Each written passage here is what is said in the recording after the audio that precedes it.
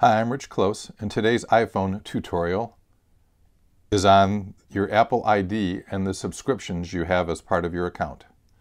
Please make sure to click the link and subscribe to my YouTube channel and visit richclose.com.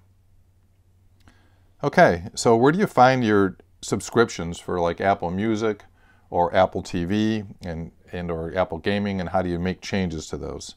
So you go into the settings and at the top you see Apple ID iCloud right click and it shows subscriptions down here.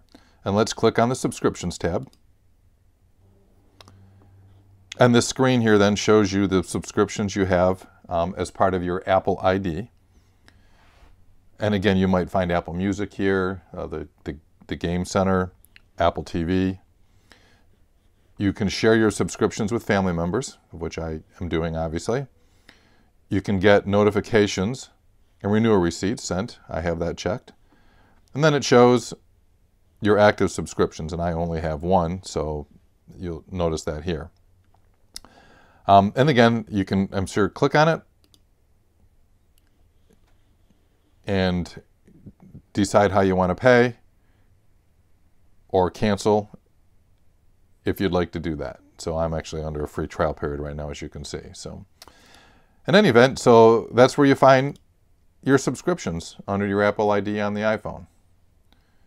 Again, thank you for watching my videos. Again, please click the link to subscribe to my YouTube channel and visit my website where you can find more iPhone tutorials and a link to my iPhone seminar.